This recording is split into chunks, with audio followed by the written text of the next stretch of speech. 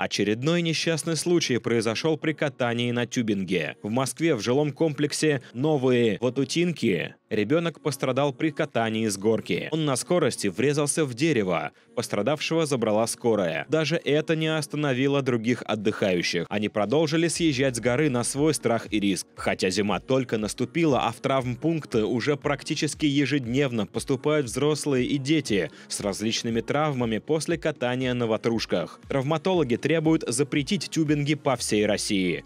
По словам врачей, люди, как правило, калечатся на стихийных, необорудованных горках, а таких во всех городах не сосчитать. Проблемы на деле две – травмоопасные горки и небезопасные ватрушки. Обе проблемы отмечают специалисты одинаково значимы. В Госдуме проблема катания на ватрушках обсуждается уже не первый год. По словам члена Комитета Госдумы по охране здоровья Бориса Менделевича, Решить ее можно как и с другими опасными видами спорта. Например, есть горные лыжи. Предназначенная для них трасса получает разрешение определенного ведомства на ее использование. Она должна соответствовать определенным критериям. Должны работать спасатели. Нужно организовать трассы для катания на тюбингах по аналогии с горнолыжными спусками. К тому же за возникновением стихийных спусков должны пристально следить местные администрации. Наказывать следует и бизнес, который организовывает прокат ватрушек. Основная опасность тюбинга в том, что он практически никак не управляется тем, кто на нем катится. А значит, контролировать траекторию движения невозможно. На стихийных трассах можно врезаться в дерево, травмироваться о торчащую трубу